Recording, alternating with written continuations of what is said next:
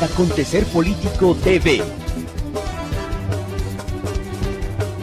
La opinión de Morelos. Presentan. La opinión en el acontecer. Un periodismo comprometido con los morelenses, porque su opinión es nuestra opinión.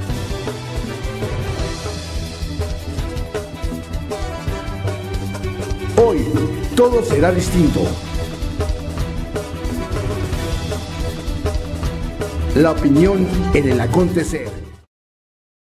Eh, es una tarea difícil. Eh, ¿Crees que estos tres años que faltan de gobierno se logre nuevamente reencontrarse con la sociedad que está en gran parte pues, molesta por todo lo que ha ocurrido en cuestión de la inseguridad, eh, por todo lo que grupos políticos con diferentes ideologías pues han puesto a hervir ya esta olla, ¿no? Y, la gente ya no tiene la credibilidad en sus autoridades. ¿Qué es que alcancen los tres años? Tenemos que seguir trabajando arduamente, Víctor.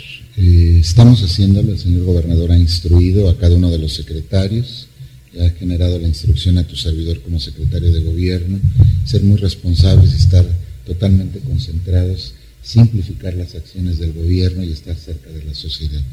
Es un reto es un reto muy importante porque este gobierno llega, el gobierno del licenciado Graco Ramírez, llega en un momento de mucha complejidad social, en un momento de complejidad económica en el contexto nacional, en un momento de complejidad social por lo que significa la violencia social en la que nuestro país se encuentra inmerso y particularmente un vecino, un, un estado vecino tan cercano a nosotros como es Guerrero, con un hecho que ha marcado eh, los últimos años y los últimos meses de todo el devenir político de nuestro país, y me refiero a lo que aconteció en Iguana.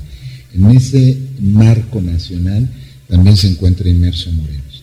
Venimos saliendo eh, prácticamente de 12, 13 años de una violencia social muy importante, una violencia social donde también grupos delictivos aquí en el Estado se anidaron, eh, echaron raíces, eh, empezaron a podrir muchos jóvenes de nuestra entidad, generaron una red y con la llegada del licenciado Graco Ramírez al gobierno del Estado, en donde instruyó una política clara, frontal en contra de la lucha de la, en contra de la delincuencia, pues también esta posición no ha sido sencilla.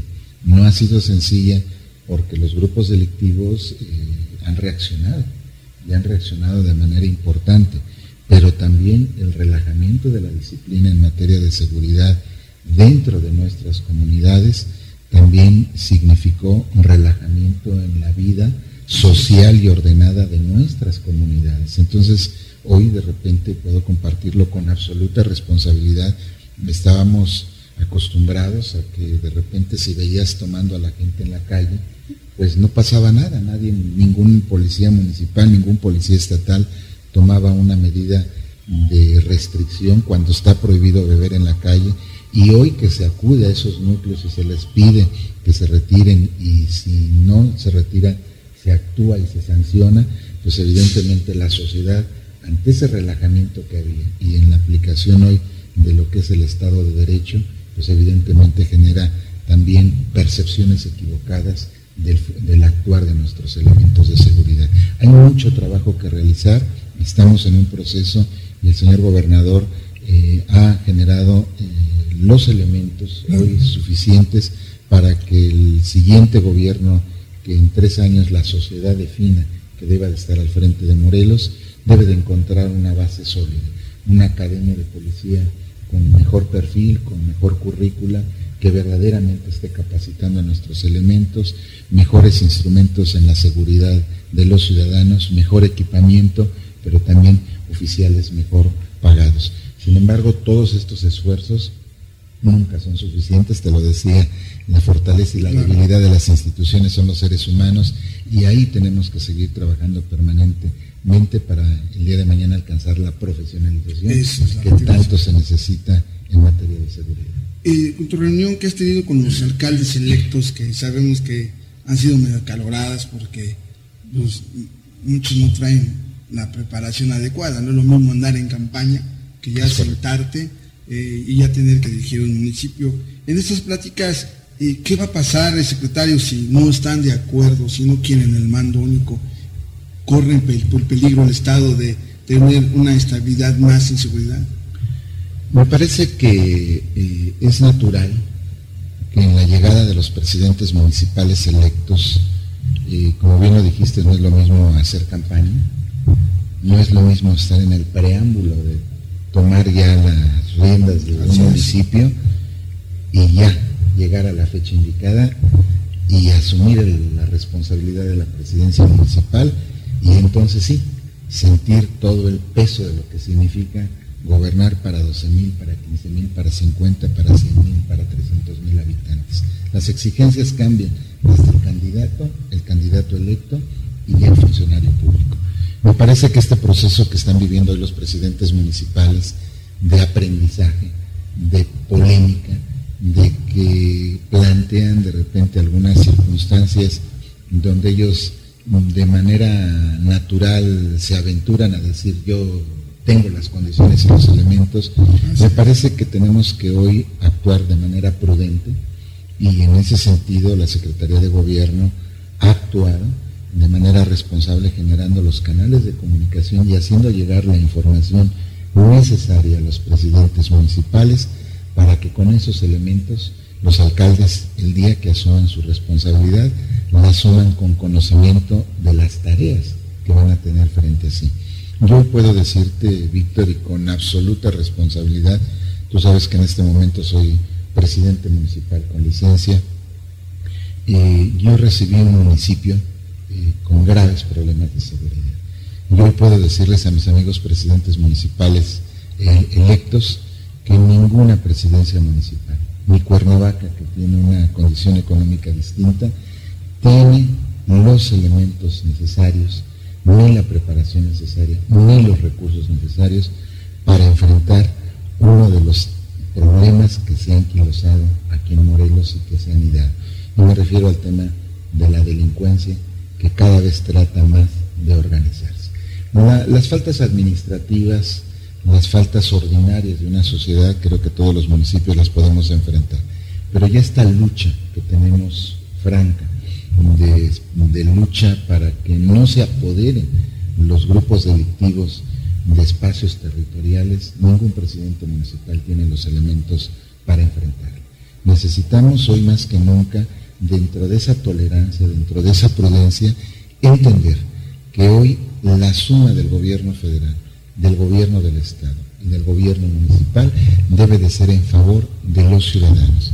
En la medida que nosotros seamos capaces de ponernos de acuerdo, los ciudadanos estarán percibiendo mayor seguridad y eso, Víctor, nos debe permitir el día de mañana recobrar la confianza en las instituciones. Así es. No es una lucha sencilla, pero es algo que tenemos que hacer y a lo que estamos convocando desde la Secretaría de Gobierno. Fíjate que algo que quiero decir, si me lo permites, es que has dejado tu testimonio y, prueba de tu trabajo en tu municipio.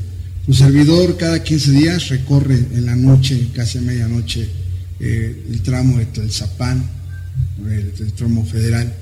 Es un tramo alumbrado hasta donde yo veo que tenía que estar la luz eso tú lo llevas a cabo y ojalá sirva de ejemplo para muchos presidentes municipales que van a entrar, que con alumbrado no hay ratas que se escondan, ¿verdad? Sí, tenemos mucho que trabajar. Hoy en esta parte estamos convocados, yo lo he dicho y fíjate que acabas de mencionarlo muy, muy acertadamente. El tema de la seguridad no solamente es un tema de policías y ladrones, no es más patrullas, no es más policías.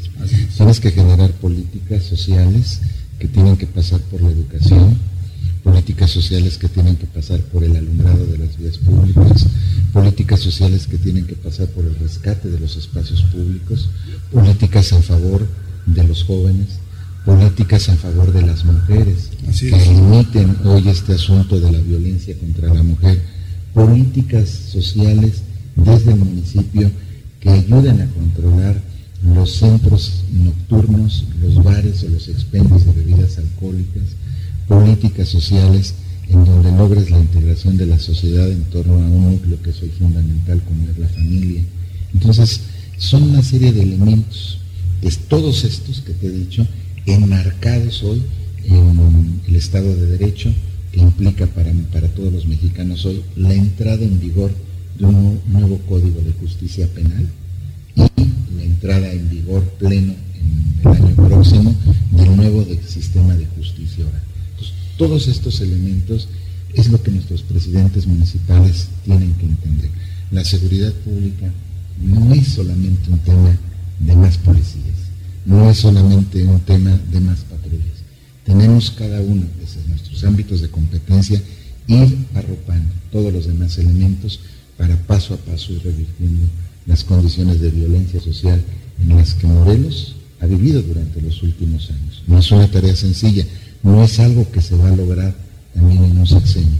Nuestra meta es generar las bases institucionales sólidas que nos permitan de entrada en este sexenio la contención de estos graves problemas, pero sí sentar las bases para que los siguientes gobiernos consoliden este trabajo y podamos, los morelenses, vivir en un ambiente de tranquilidad y en un ambiente más ordenado, a diferencia de lo que hemos vivido los últimos 12, 15 años de nuestra empresa. Sin duda sienta un gobierno más sensible, no hablar solamente del gobierno del Estado, sino también los gobiernos municipales, más sensibles y ver más a su juventud. Y eso es donde te voy a tocar el tema. Eh, ¿Qué va a pasar con las becas salarios? Porque sabemos que ha ayudado a muchos. Se decía por ahí que, bueno, que es la forma como ya se les da dinero para que se vayan a emborrachar, se vayan. Pero haciendo un estudio, eh, este medio, vemos que sí ha tenido importancia, que muchos han logrado retomar sus estudios. Pero hay el rumor de que se puede perder esta beca salario si no es aprobada por, por la Cámara de Diputados federal. ¿Qué me puedes decir de esto? No, hoy te puedo decir que son más de 100.000 jóvenes en Morelos que están recibiendo la beca salario, que aspiramos a llegar este año próximo a los 105.000 jóvenes que reciben esta beca, una beca que oscila entre 300 pesos a nivel de tercer año de secundaria 500 pesos a nivel de preparatoria, 700 pesos a nivel de universidad. Se está destinando del presupuesto del Estado 550 millones de pesos para el tema de la beca salario. Es una instrucción del señor gobernador y afortunadamente ya fue aprobado por el Congreso del Estado para que la beca salario sea una ley en el Estado de Morelos. Entonces esto que empezó con una propuesta política del señor gobernador en su etapa de candidato y que empezó en los, primeros tres años de gobierno con un programa de solidaridad y en apoyo a los jóvenes, hoy el hecho de que sea una ley en el Estado obliga a que a partir de este año sea el gobernador que sea, del color político que sea, la beca salario sea un programa permanente. Y si bien es cierto, también hay que decir las cosas con absoluta responsabilidad, pudiéramos tener jóvenes que todavía no valoran el gran esfuerzo que está haciendo el gobierno del Estado, una gran cantidad de jóvenes. Hoy esos 300, esos 500, 700 pesos les significa la oportunidad del pasar, del calzado, de los útiles escolares, de la prenda para atender alguna responsabilidad o alguna tarea de sus labores académicas. Eh, hemos logrado afortunadamente disminuir la deserción escolar y lograr que el 20% de los jóvenes que antes desertaban hoy sigan manteniendo su preparación académica. Y le apostamos como gobierno progresista, como gobierno emanado de la izquierda, mediante una política económica de solidaridad a, esos, a esas familias, a esos estudiantes, rescatarlos para que puedan continuar sus estudios, porque como gobierno progresista también creemos y sostenemos la tesis de que una sociedad más preparada siempre será una sociedad crítica para elegir adecuadamente a sus gobernantes. Es una gran tarea, ¿no? Seguro Popular eh, es una partida presupuestal, estatal y federal, ¿no? Es correcto.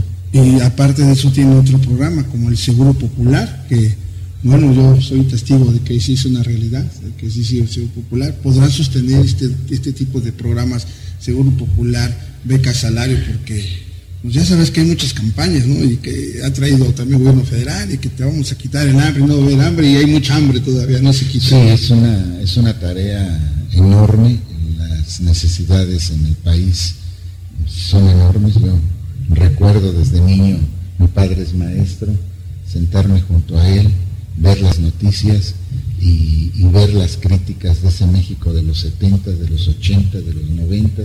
Y hoy que estamos en el 2015 y que me toca asumir una responsabilidad como la que hoy tengo bajo mis, espaldas, me doy cuenta que los retos de esta nación son, siempre han sido enormes, abismales. Hoy nosotros estamos trabajando de manera ardua, debo compartirte algo, eh, continuaremos con la beca salario, continuaremos con el programa de, hoy la Cruzada Nacional contra el Hambre, donde el gobierno federal también se coordina con el gobierno del Estado, generaremos las condiciones para que nuestro sistema de salud vaya mejorando, pero también es importante que la sociedad sepa eh, que cuando llegamos al gobierno eh, encontramos más de 2 mil millones de pesos en pasivos pendientes por pagar al sector educativo. Y a lo largo de estos primeros tres años, Víctor, el señor gobernador instruyó que en la medida de que vayamos teniendo recursos, vayamos pagando esos 2 mil millones de pesos al sector educativo, que van desde jubilados hasta maestros activos en diferentes escalas y en diferentes años. Este dinero, estos dos mil millones de pesos, se han pagado, se han ido abordando y se han ido pagando paulatinamente todos estos pasivos al sector educativo y se han pagado, Víctor, con los recursos propios del Estado, con las participaciones. Entonces, esto también, el pagar sin dejar de atender nuestros programas, nos ha significado un gran reto en el gobierno del Estado. Por eso hoy en el presupuesto que acabamos de entregar al Congreso del Estado... ¿De cuánto fue el presupuesto? De poco más de 20.5 mil millones de pesos para nuestra entidad, es lo que estamos proponiendo, lo que estamos nosotros considerando. Hay que esperar cómo se da la presupuestación federal para tener muy claro ya cuál va a ser el horizonte en el que nos vamos a manejar. Pero en este presupuesto que hemos presentado al Congreso, la primera política estratégica que ha generado el gobernador es una política de austeridad, de restricción. Eh, nosotros en el gasto corriente como gobierno del Estado hemos disminuido 100 millones de pesos adelgazando el gasto corriente para no afectar el gasto de inversión. Eh, no hemos incrementado impuestos, es otro de los temas. No se va a generar ningún endeudamiento del gobierno del Estado en los siguientes años. Y tercero, convocamos a todos los niveles de gobierno y a los tres poderes desde nuestra presupuestación a que en este año de complejidad financiera que nos significa el 2016 seamos eficientes y eficaces en el manejo del recurso, manejándonos en una política de austeridad para favorecer en todo momento las inversiones en favor de la gente. Eso es lo que estamos proponiendo. Y secretario, eh, también tenemos ahí un, problema de que adolece ya muchos sexenios, pero hoy se hace sentir más el transporte. Hoy contamos con un transporte, cuando se nos había dicho al principio de este gobierno que iba a ser un transporte digno, un transporte eh, seguro, hoy vemos chatarras, chatarras y chatarras, carros que se descomponen, se les salen ruedas, accidentes, y luego acaba de anunciar el secretario de Movilidad que también ya se van a regularizar los mototaxis, entonces ahí como va a quedar, como que veo que hay un descontrol total, ¿no? Primero, líderes que se les olvida que no son dueños de las placas, que es una concesión. Y luego la mafia que se ha hecho, y perdón, porque tengo muchos amigos del transporte, la mafia que se ha hecho y que no se regularizan. Encuentras unidades que traen una placa, otra placa, o sea, de un juego de placas se hacen dos hay que puede pasar, ya hemos platicado con el secretario de Movilidad, ya se han puesto de acuerdo, porque es urgente. Sí, es, una, es un tema que tiene que pasar por una modificación de ley, una iniciativa de ley que ya se encuentra en el Congreso del Estado y que estamos esperando que la actual legislatura pueda entrar a su análisis, a su discusión y pueda aprobar. En este nuevo marco jurídico se pretende no solamente ordenar el transporte público, sino también ordenar lo que hoy es el servicio de mototaxis, que ha también correspondido a una necesidad de trabajo, pero también a una necesidad de comunicación y de movilidad de la sociedad. Entonces, no podríamos avanzar en muchos temas si no tenemos perfectamente establecido el marco jurídico. Y desde luego lo hemos insistido, y es importante que nuestros amigos transportistas, nuestros amigos los concesionarios, quien tienen el beneficio de esta concesión que les permite utilizar eh, y dar vida al transporte público, deban de actuar con absoluta responsabilidad. El señor gobernador tiene muy claro de que hoy el traslado en nuestra entidad es un traslado caro, porque hay en muchas ocasiones para llegar a un destino tienes que tomar dos o tres rutas, lo cual impacta de manera importante en el bolsillo de las familias, representando en muchas ocasiones hasta el 30% de su ingreso familiar. Entonces imagínate el gran impacto económico que tiene la movilidad en las familias. Entonces estamos ahorita generando ya eh, las condiciones de poder tener un diagnóstico preciso en la entidad federativa, eh, ver cuáles son las condiciones, el impacto de la movilidad y con estos elementos hablar con nuestros amigos transportistas y desde luego convocar a la sociedad para que participe. Creo que es el tema del transporte es uno de los elementos donde deben de ir juntos el gobierno del Estado, la sociedad y los transportistas para lograr un servicio más eficiente. Me parece que algunos líderes eh, en el transporte público de nuestra entidad han confundido los temas, han politizado el tema, porque en la, en la, medida que se genera la crisis, nos dice el refrán, a río revuelto ganancia de pescadores. Pero el señor gobernador ha insistido y seguirá insistiendo que cualquier modificación que se haga en el transporte público debe de, debe de beneficiar, en primer lugar, al conductor, al trabajador, dándole un, trabajo digno con las garantías sociales que se necesitan. Desde luego al concesionario, integrándolo a un desarrollo del transporte público más ordenado y que le permita los ingresos suficientes y necesarios también para la sobrevida o su, vida de carácter micro o mediano, de mediana empresa. Y desde luego el beneficiario más importante que es el usuario al encontrar un transporte público más económico y de calidad para el servicio de todos ellos. Si logramos estos tres elementos es ganar, ganar. Gana el Estado, ganan los ciudadanos, ganan los empresarios y ganan los trabajadores del volante. Ese es el reto que el gobernador está poniendo sobre la mesa y desde luego yo estoy convencido de que más allá de los líderes, más allá de los liderazgos, los trabajadores, los empresarios, dueños de las concesiones, también lo tienen.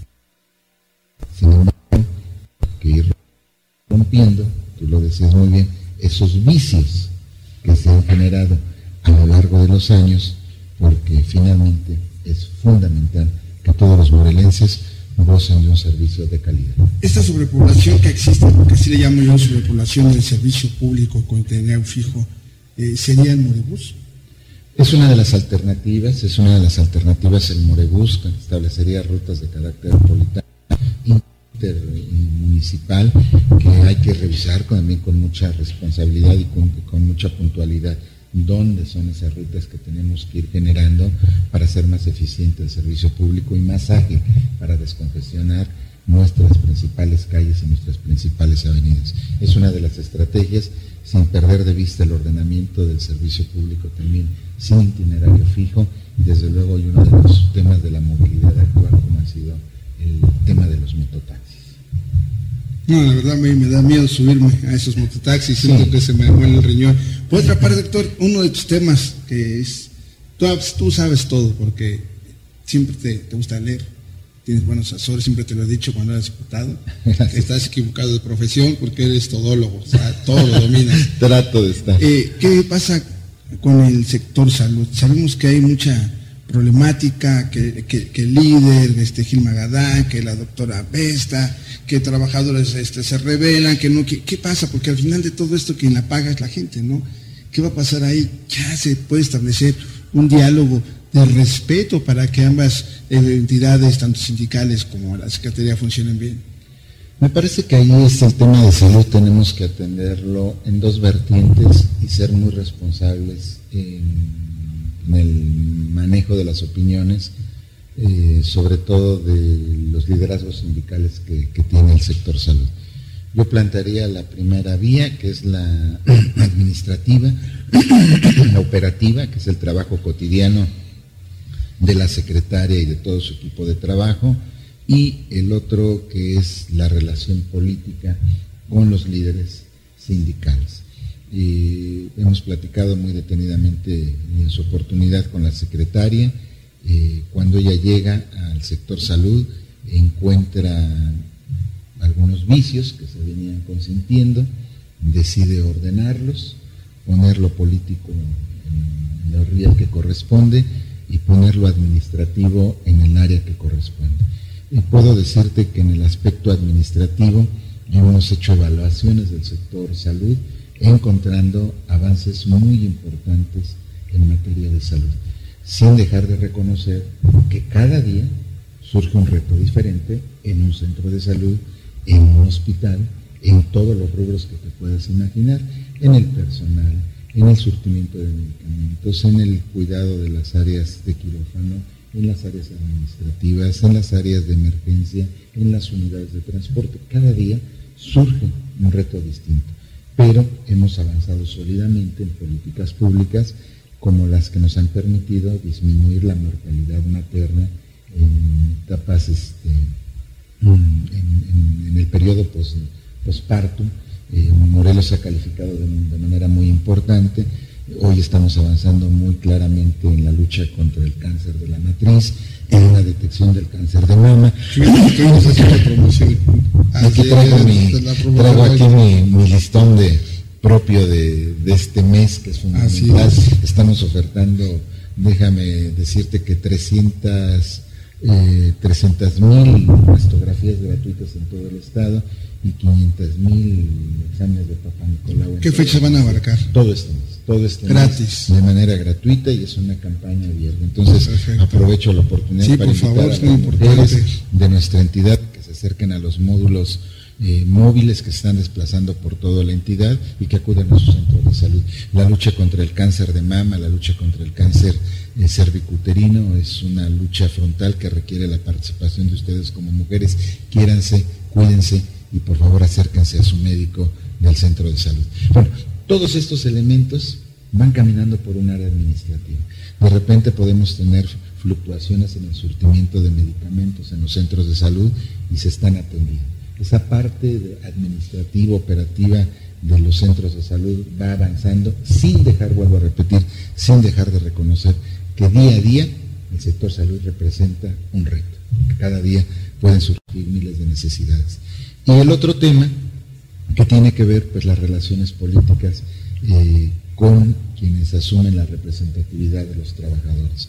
Hemos tratado de coadyuvar y hemos pedido a los actores, tanto del sindicato como de la propia Secretaría de Salud, que se mejoren los canales de comunicación para poder avanzar y que esto no se convierta en una dinámica que lo político contamine lo administrativo. Sí, en una, en una guerra personal, porque te voy a comentar, eh, yo estuve ahí, desgraciadamente internado, casi 20 días mis respetos al cuerpo médico, al cuerpo de enfermeras, que eh, una enfermera atiende hasta 10 pacientes, yo estaba sorprendido, a pesar de las carencias, ¿no? Pero sí noté esa lucha frontal entre los administrativos de confianza y la gente de base, tuve la oportunidad de verlo.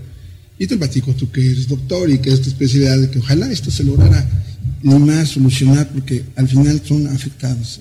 Sí, necesitamos hoy generar entre todos, vuelvo a insistir, eh, entender que habrá momentos para generar eh, las observaciones, los cuestionamientos, las diferencias, poderlas decantar, habrá mesas de trabajo.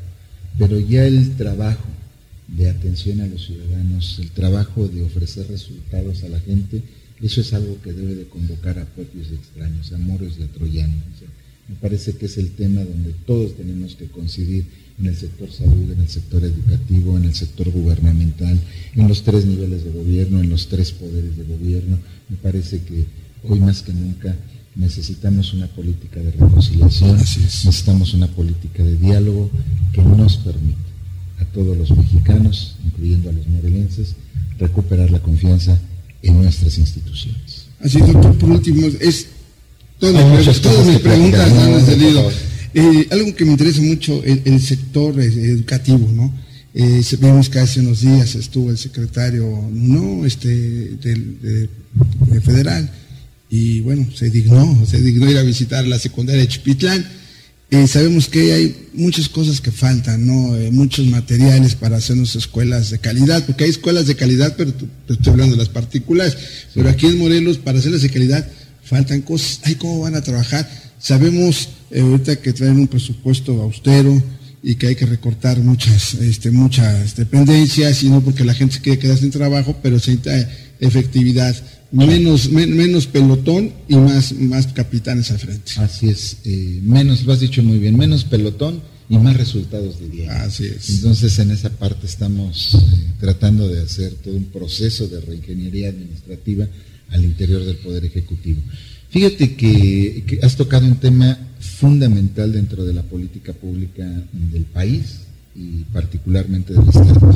A través de este medio quiero hacer un reconocimiento público al Congreso del Estado, quien dio las condiciones jurídicas para que el titular del Ejecutivo, el licenciado Graco Ramírez, pudiera asignar este convenio de carácter federal, en donde Morelos fue anfitrión de los 32 gobernadores y el jefe de gobierno el pasado lunes. Este de hecho, aquí lo transmitimos, está la retransmisión en vivo, nos pasaron, estuvimos viendo la, la importancia de ese evento, cumbre de los de los todos los gobernadores de Morelos y aparte, gobernadores nacionales y también secretarios, ¿no? Que se vistió el Estado de Morelos. Secretarios de Hacienda, secretarios de Educación y gobernadores del Estado con la presencia del presidente de la República. ¿En qué consistió esto? Fue la firma en conjunto de todo, de, ahí estamos viendo las imágenes, efectivamente, de todos los gobernadores y el presidente de la República, a efecto de que se forme una gran bolsa de carácter nacional para que durante los siguientes tres años haya una inversión histórica en todos los estados en, para atender la infraestructura educativa. De esa gran bolsa que se firmó, a Morelos le corresponden 1.800 millones de pesos que a lo largo del 2016, 2017 y 2018 se estarán invirtiendo en todos los planteles educativos con mayor rezago en infraestructura. Hay un diagnóstico ya por parte de la Secretaría de Educación Pública Federal en donde se tiene detectado los municipios, las escuelas con mayor rezago y serán atendidas a través de este fondo que el gobernador ha asignado con el gobierno federal. Debo de decirte también con absoluta responsabilidad que este fondo no endeuda al Estado, es un fondo que viene tutelado desde la Secretaría de Hacienda Federal, que va a venir perfectamente etiquetado, que viene perfectamente direccionado a los planteles educativos con mayor rezago y estará destinado en algunos casos para infraestructura y en otros casos para equipamiento. El objetivo es que eh, lo que nunca se había hecho en Morelos ni en todo el país en estos tres años pueda significar mm, darle una vuelta importante al rezago histórico que se tiene. Sin embargo, también hay que tener claro, como te lo he dicho insistentemente, cada día, cada año que pasa, es un reto distinto. Entonces, hay que estar muy concentrados en la de los recursos, en la transparencia de los recursos en su aplicación y que el beneficio llegue a cada plantel educativo. Y sobre todo hay que estar también preparados para que ya la reforma educativa se ponga ya al 100% y los maestros eh, que pasen su examen, que sean maestros de calidad, que es lo que necesitan ya las escuelas federales, maestros de calidad, pues les den ya más resultados a los jóvenes, porque hoy en día hemos hecho encuestas y las preguntas, eh, quién es Doroteo Arango, no saben, eh, no saben este, que derrota la revolución, siendo cuna a este Estado. Entonces es importante que esa educación, esa historia, que en nuestras raíces, regresemos para que engrandezcamos esta juventud que hoy va caminando, pero a ciegas. Los procesos de certificación y de calidad hoy son procesos que trastocan a todas las profesiones. Quisiera compartir contigo Gracias. que hoy los médicos estamos obligados a certificarnos y la certificación pasa por un examen que nos permite garantizarle a los ciudadanos que estamos ofreciendo una calidad de atención médica eh, superior. Y eso implica la preparación de los médicos permanentemente. Y pasa con los ingenieros, y pasa con los arquitectos, y pasa con muchas profesiones. De tal manera que estoy convencido, mi padre es maestro jubilado, permíteme compartirlo. Me tocó crecer al, lado de un maestro de educación primaria donde siempre se vestía de traje, siempre andaba con la corbata, siempre era llegar al salón de clases perfectamente alineado, Muchas veces lo vi lastimado de la garganta por el uso del GIS, sin embargo, iba a dar sus clases y me parece que esa imagen del maestro es la imagen que todos los mexicanos queremos. Un hombre, una mujer comprometido con sus alumnos, comprometidos con la preparación de sus alumnos y convencidos que es en la preparación y en la calidad de la educación que vamos a alcanzar el éxito de este país. Desde luego, el prepararnos permanentemente significa hacer un esfuerzo extraordinario. Pero estoy convencido que los buenos maestros, los maestros que están comprometidos con sus jóvenes, no ven en esta, en esta reforma educativa una barrera. Un enemigo. debe ser una oportunidad para que nuestro, nuestra sociedad y nuestro nivel educativo en el país vaya poco a poco escalando a niveles de éxito que tanto lo necesitamos. Es muy importante la educación primaria, ese es el piso con el que muchas generaciones el día de mañana podrán aspirar a condiciones de vida y ser más exigentes de los gobiernos de manera crítica y de manera objetiva. Es el cimiento para el gran edificio de su vida. Algo que quieras comentar, doctor, porque yo he abarcado varios temas, tenía que aprovechar tu presencia. No, hombre, por favor. Porque quiero decirte que siempre manejas todos los temas. Trato de estar en los temas eh, permanentemente, mantener una comunicación estrecha con el señor gobernador, con mis compañeros de gabinete, con los directores de las áreas. Hay muchos temas que abordar. Te puedo hablar de que hay muchos temas en economía, en derechos humanos, en deporte, en protección civil, en fin, hay una abanico. Tendrás que venir otra vez, doctor, porque enorme hay muchas cosas que es importante a través de las redes sociales, porque yo había hecho un estudio hace unos días y y las redes sociales han logrado posesionar a la gente increíblemente. Sí, sí, sí, eh, ya la televisión, con todo respeto a la televisión, a la radio, a veces no hay tiempo de poder escuchar un canal porque tienes prisa, pero llegas a tu casa, te metes a la computadora y tienes la información. Al momento y por estos medios podemos dejar a través de todo el mundo. Y yo siempre he dicho que es importante que se enteren que hay en Morelos. Sí hay algunas cosas que no nos gustan, pero tenemos esencia, tenemos gente, tenemos cultura, raíces, tenemos gente importante que muchas veces tenemos en anonimato y, yo creo que hoy ustedes están haciendo que esa gente brille, ¿no?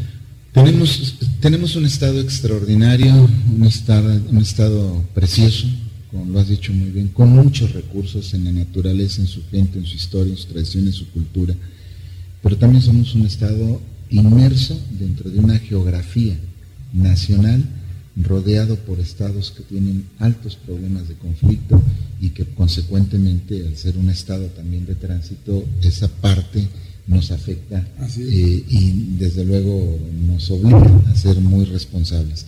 Hoy puedo decirte que en el gobierno del estado el señor gobernador ha instruido a cero corrupción, a cero tolerancia a la corrupción, a trabajar arduamente en favor de los morelenses en el entendido de que estamos inmersos en una problemática social en donde la desconfianza en las instituciones es una deuda histórica y que el señor gobernador, encabezando un gobierno progresista, un gobierno de izquierda, tiene como objetivo ir construyendo esa sociedad que poco a poco vaya recuperando la confianza en sus instituciones. No es una tarea sencilla, es una tarea ardua en la que tenemos que estar muy concentrados y estaremos atendiendo y trabajando con absoluta responsabilidad, entendiendo que en Morelos cada día es un reto distinto, pero el servir a la sociedad es una tarea en la que hoy estamos comprometidos en el Ejecutivo del Estado. Doctor, antes de despedirnos, la pregunta de los 65 millones de dólares. ¿Termina el gobernador su gestión constitucional o se va de licencia buscando la candidatura o no la precandidatura para ser presidente de la República? Me parece que esa es una pregunta que el señor gobernador en su oportunidad deberá contestar. Doctor, pues muchas gracias, eh, que no sea la última vez que estés con nosotros. Es importante eh, llevar la información, ¿no? Y sobre todo a, toda esta gente joven que hoy viene eh, totalmente con una vena en los ojos porque hay muchas corrientes que engañan, hay muchas corrientes que te ponen en contra de tus propias autoridades y si no tenemos una normatividad jurídica y un respeto a esas autoridades, yo creo que es lo que está violentando hoy al Estado de Morelos. Tenemos que aprender a vivir todos en un Estado de Derecho, en una sociedad más tolerante, una sociedad más preparada culturalmente y desde luego donde el diálogo sea la herramienta y el instrumento fundamental para que en las diferencias encontremos las coincidencias que nos permitan lograr el Estado que todos los morelenses deseamos. Muchas gracias. Muchas gracias. Este, estaremos retransmitiendo este programa. También estén pendientes a la una de la tarde y ya saben, nuestro canal de YouTube, La Opinión en el Acontecer. Muchas gracias. Un placer. Gracias.